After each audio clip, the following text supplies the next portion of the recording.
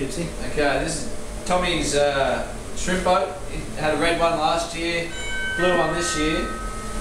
Uh, loved it, and has come up with some ideas for 2013. Yeah, Fipsy, thanks for showing me a couple of beauties.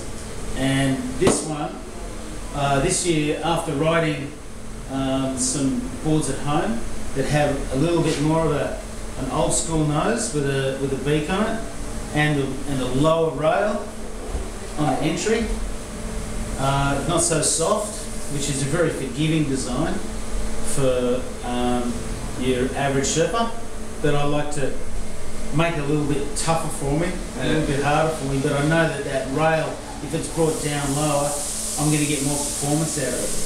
So I'd like you to try to um, bring the thickness out towards the end and make a beak, an old school beak on the nose for a new version.